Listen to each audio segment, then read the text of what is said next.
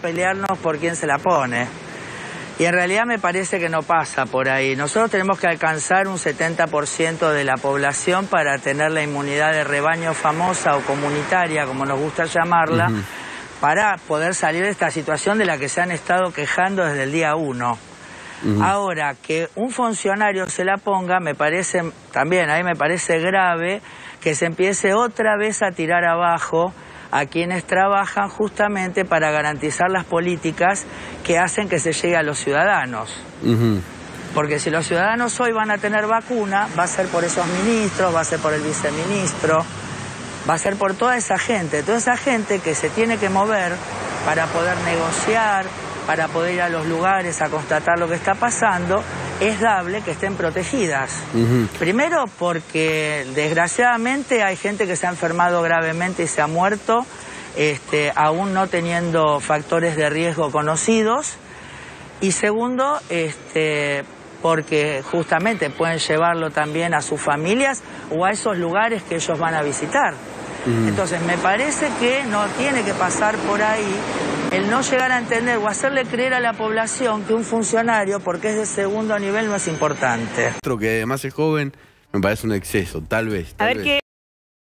Ajá. O sea, a mí me parece nadie que hay que dijo entender eso, Piovano. Estamos, Se no, lo sí, estamos- lo están diciendo. Entonces yo lo que No, no, se lo estamos es lo preguntando como, una, como especialista. Es lo de siempre, es tratar de tirar abajo a los Sí. que trabajamos en el Estado, como que somos menos. Para nada. No ¿Usted nos se dio las dos dosis de la una vacuna, Piovano? ¿Cómo? ¿Se dio las dos dosis de la vacuna?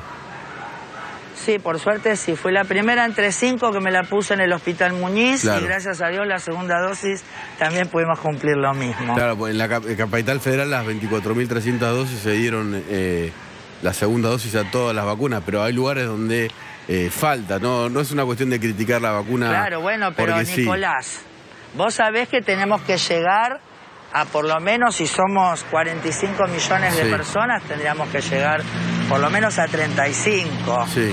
Nadie va a creer que las vamos a vacunar a todas el mismo día, ¿no? No, por supuesto que no, 35 o sea, eso no le vamos a exigir, ¿no? No, no, no, no, por supuesto que no. Eh, no me parece bien Ah. tampoco echarle la culpa a la prensa por la supuesta eh, eh, desinformación o tirar abajo una no, vacuna no es la cuando... prensa, es mucho más que la prensa, Está es la todo el opinión mundo- pública agitada desde un lugar. ¿Y desde qué donde lugar? no se es honesto. Porque la opinión pública toda... Desde eh, el lugar que ocupan ustedes todo el tiempo. Entonces le está echando la culpa porque la- todo el tiempo agitando. Sí. ¿Usted Mira, el conoce a alguien que no se quiera vacunar? Me, me- ¿Eh? ¿Conoce a alguien que no se quiera vacunar?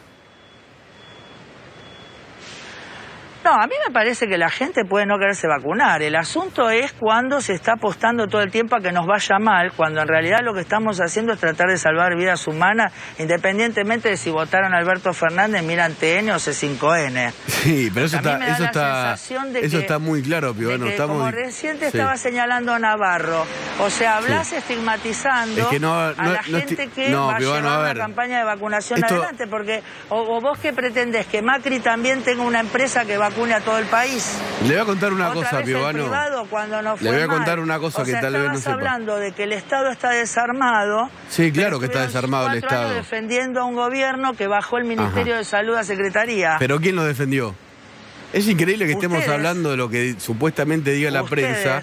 Ustedes lo defendieron. Yo nosotros no defendimos Ustedes a nadie y lo hemos criticado. y no le preguntaron nunca por qué dejó vencer vacunas. Eh, he ahora informado yo. está hablando en todos lados como Mire, si no hubiese Piovano, sido responsable de yo no, yo no 32.000 le tengo que dar explicaciones a El año usted. pasado, le damos explicaciones a la audiencia. el año- Le voy a contar que yo ¿Cómo? mismo, le- nosotros le damos explicaciones a la audiencia y la audiencia nos ve si quiere o no y nos cree si quiere o no. Yo le cuento si para usted que por ejemplo yo No, informé, es que, yo informé, la de que- audiencia de déjeme terminar. Es una audiencia cautiva, Ajá. donde en todos lados lee lo mismo. Ajá, bueno, Por yo le eso quiero contar a que usted- yo diga otra cosa. Para nada, no, yo la dejo hablar. Yo le quiero Sí. contar a usted que, por ejemplo, respecto a las vacunas vencidas, yo conté con los papeles que todos los ministros de, la provincia, de las provincias habían dicho que había vacunas que estaban, sin, eh, que estaban vencidas en el anterior gobierno. Pero no le tendría que explicar esto. ¿Estamos hablando de una política pública o estamos hablando de política sobre la Exacto, vacuna? que es, una, es la política pública que nos Sí. va a sacar a- afuera de esta situación. Entonces, Ajá. empezar a cascotearla, empezar a meter en todos lados que el único interés de la gente que hace política es el dinero, la verdad que ya cansan. Piovano, me parece yo se lo voy a decir con todo respeto. Se lo voy a decir con todo respeto Piovano. Se lo digo con todo respeto, usted está mintiendo.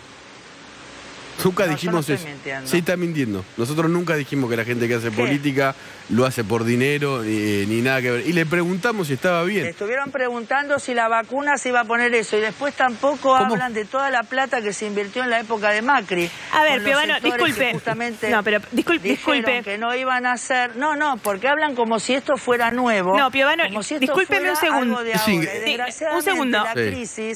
La venimos heredando. Piovano, discúlpeme un segundo, La nosotros que hacemos este noticiero que se llama TN Central y somos los periodistas que lo estamos haciendo en este momento, decidimos convocarla y conversar con usted sobre la vacuna Sputnik V. Usted puede tener un montón de opiniones respecto de un montón de cuestiones políticas y estar de acuerdo o no con nosotros. Claro, Me parece ¿sabes que... Disculpe que no ya terminó. No, No, no espere un segundo. No, escúcheme. Que yo hable con vos solo de lo que vos querés. No, lo que le Vos no pi- no, lo que le pido es que por respeto a la audiencia- Solo de lo que vos querés. No, señora, Vos me llamaste. escuche. Bueno, Bueno, yo no te llamé a adelante, vos. Yo no llamé de la- a vos. a hable ver, no, no, Yo no te llamé a vos. eh. Quiero que sepa la audiencia de TN que Piovano no anda llamando porque andan diciendo como que yo me meto en los noticieros. Piovano, Ni me llaman. Pio- Piovano, me parece que, que se lo digo con todo respeto, tiene una alta estima de sí misma. Nadie está diciendo que usted está llamando a los noticieros para salir ni nada. Justamente usted está desaprovechando No, no, no. el tiempo y para responder preguntas que a la llamó. sociedad sobre esta vacuna. Perdón, pero creo que esta discusión Es insólita. no, y es estéril, y no sé qué le estamos llevando de constructivo a la gente que nos está escuchando. Me parece que voy a intentar que reuca- reencaucemos la conversación. Una de las cosas que yo quería preguntarle y conocer su opinión, además por su trabajo y por lo que usted eh, conoce como infectóloga, es sobre la discusión de la vuelta a clases presencial, porque ha habido dirigentes, por ejemplo, de CETERA, que han dicho que la vacuna tampoco es tan confiable. Lo decía eh, la, la secretaria general de CETERA Capital el otro día acá con nosotros, que tampoco es que po- po- poner la vacuna a los docentes iba a garantizar la inmunidad. ¿Usted qué opina respecto de la vuelta a las clases presenciales? Bueno, ahí hay dos cosas que son distintas. Una cosa es la clase presencial y otra es la efectividad de la vacuna. La efectividad de la vacuna es alta, eso está, demo- por lo menos de la, o sea, ahora estamos hablando de la Sputnik, ¿no es cierto? Después cuando tengamos AstraZeneca, otras, bueno, veremos esas, pero las que tenemos ahora, de las cuales tenemos 300.000 dosis, que no han alcanzado ni para empezar con el personal de educación. Pero además, si yo vacunara para garantizar que no nos suceda con la presencialidad lo que ya vimos que sucedió, inclusive ahora último Portugal, ¿no es cierto? Que había, había dicho que tenía unas normativas muy buenas, bueno, ahora clausuró directamente todo. Entonces, realmente necesitaríamos no solo los docentes y el personal docente, porque recordemos que uno se vacuna no solo por uno, sino justamente por ese entorno que tiene, que tal vez no se puede vacunar o al que no llegamos, porque lo que te decía, ¿no? O sea, nosotros tenemos un, digamos, destino de, de millones de- de vacunados que no los vamos a alcanzar en un mes ni en dos meses. Entonces, la idea sería por ahí no solo tener a los docentes y al personal este, vacunados, sino también a los familiares de los niños. Porque en realidad el problema por ahí no van a ser tampoco los docentes en sí los que se enfermen, sino los familiares de los niños que eh, hacen, digamos, el trecruce de lo que son las burbujas y el propio docente, porque el docente tiene una actividad que realmente va tres horas a un lugar y de ahí se sube a un transporte público para ir tres horas a otro. Se junta con otros docentes en la sala de, de- de- de profesores y de ahí se va a su casa. Entonces, el impacto eh, no es solo sobre el cuerpo docente, sino los que nos interesa, que son los grupos de riesgo. Dígame a ver si Yo lo creo que para la O sea, lo que usted está diciendo es que, va- que vacunar a los docentes no garantiza que no se corra riesgo con la vuelta presencia- de la presencialidad de las clases.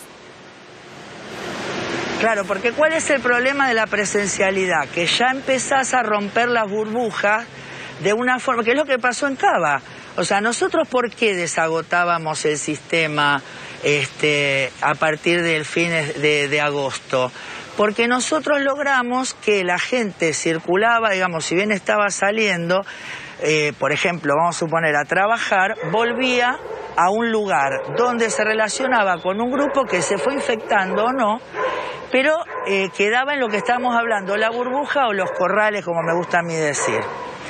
Cuando eso que hace, eso hace que entonces lentamente va bajando los números, porque no es que el virus se hizo más bueno en la ciudad de Buenos Aires, sino que conseguimos, digamos, amesetar por el tema de sostener, no el encierro total, pero esa, esa mecánica. Cuando empezamos a abrir la cuestión de eh, salir a los runners el fin de semana, y ya después, bueno, la nocturnidad ya sí terminó de romper todo, porque vos el runner de última va a correr y tu vuelvo, vuelve a su casa. El tema es que acá vos vas a un bar, y por ahí este, en la mesa, por más que limpiaron, tocaste algo. Recordemos que es muy efectivo por el contacto, ¿no es cierto?, con las cosas contaminadas también. Entonces, bueno, eso es lo que justifica estos aumentos que estamos teniendo eh, en Cava y en, todos los lugares, ¿no es cierto? En todo el país, digo, porque el aumento no es solo en Cava. No, no es solo en la ciudad de Buenos en todo El país. Por eso, o sea, entonces, ¿y según usted vamos? que tendríamos que eh, haber seguido en cuarentena? perdóname, cuando fue el dispo en el interior, fue cuando también empezó desgraciadamente a, explotar, ¿no es cierto? Y bajó cuando se cerró. Entonces, lo que nosotros se cerró creemos, o lo que yo personalmente... Pero perdón, Piovano, no se cerró el dispo. cerrarlo. El dispo está, está, bien, pero muchos lugares volvieron atrás a cerrar. La Pampa cerró, este, Jujuy cerró, ¿está bien? ¿Por qué? Porque tampoco vos... Formosa eh, está, muy cerrada también. ¿Cómo? Formosa está muy cerrada también.